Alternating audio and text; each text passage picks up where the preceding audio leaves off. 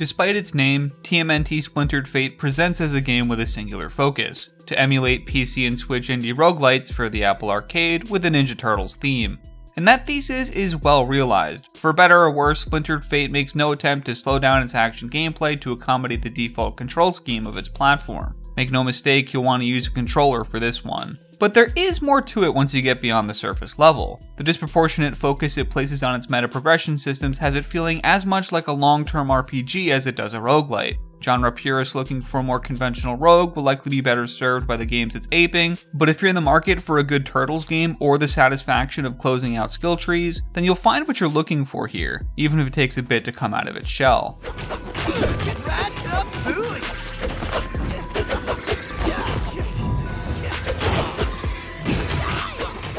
The action combat at the center of Splintered Fate is as fun as it is dangerous. Enemies are both lethal and abundant. Entering a room will usually demand killing over a dozen of them to earn the honor of leaving, and it won't take long for that screen to fill with targeting indicators that threaten more of your health bar than you'd expect. There are tools to deal with this though, not the least of which is a low cooldown dash move intrinsic to each turtle's kit that doubles as a good way to break out of your current attack animation. Couple that with a unique active, passive, and item slot, and you'll find the game rich with moment to moment choice, and flexible building paths that allow you to tailor these in meaningful ways run to run. Synergies can be found among the elemental properties you can imbue your weapons with. Extra projectiles can be added to your swings and dashes, or even entirely new actives to replace your given turtle's default. Rather than using a conventional cooldown system to govern your active abilities, they instead operate as spenders to your basic attacks builders, creating a snappy, fast paced combat style across all turtles that'll have you staying in beatdown range and keeping your foot on the foot. You'll see a lot of reviews call this one console like. It's an accurate descriptor, if not one that calls into question why it isn't on consoles as well.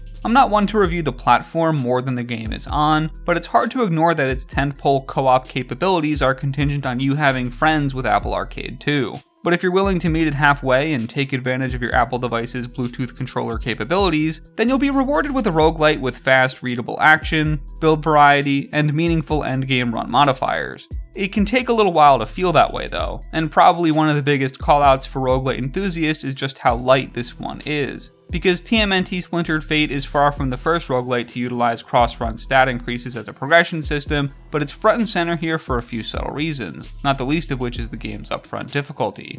You're not likely to win your first run in Splintered Fate or maybe even your first dozen, and for me it was raw numerical increases that moved the needle in my success rather than any acquisition of skill, because the base strength of the turtles is low, and straight increases to health, damage, and cooldowns acquired by dragon coins are all but an outright necessity if you want to beat Shredder, rather than just being a sort of complementary bonus for struggling players. Your stats can easily double or more by fully tapping into these systems, and such increases will become a near requirement before you get to the ultimate late game modifiers. I found myself enjoying the game a whole lot more when I embraced this fact up front. If you can see that skill is of equal, if not secondary importance to stats, it allows you to alter your play to accommodate, and that's vital here for one major reason. Your cross-run currency of dragon coins are not only a common passive drop, but frequently an active decision you must make because whether it's in the shop or in your post room rewards, you'll constantly be asked to make a choice between power in your current run and power in your future runs. Importantly, you don't need to win to bring back your accumulated coins to home base for spending, so you can have your build and items prioritize coin acquisition, lose a run, then funnel these resources towards a more deliberate shredder push. Far from a classic way to chew through a roguelite if you're a genre purist, but satisfying in its own way, using a rogue skeleton to deliver something a bit closer to a long term progression RPG.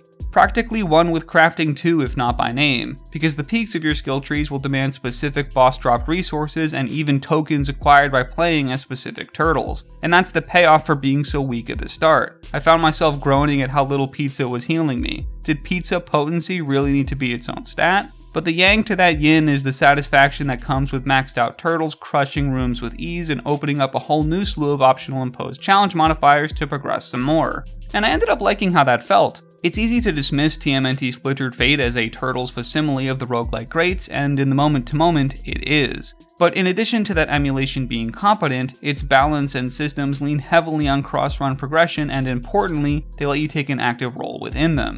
It tickled a part of my brain in the same spot something like a Diablo would, albeit with gear power shifted into talent trees instead of rare drops. That's a formula that's bound to be divisive. There's not a lot of immediacy to Splintered Fate, and its first few runs play more like an on ramp to get you moving towards the good stuff. But if you can buy into it being as much its meta systems as it is the runs themselves, then it will give back what you put in. Just don't forget that its pacing and structure are much more likely to reward playing like a tortoise than a hare.